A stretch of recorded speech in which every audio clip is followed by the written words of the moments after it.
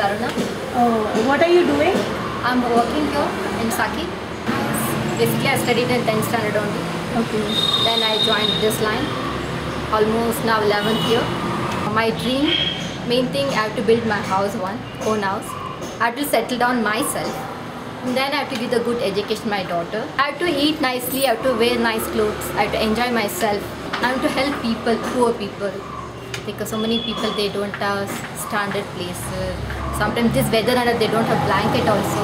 The platform doesn't sleep, uh, sleep. No? I have to help something in my hand, what I can help. I have to be a designer with a sari designs and all.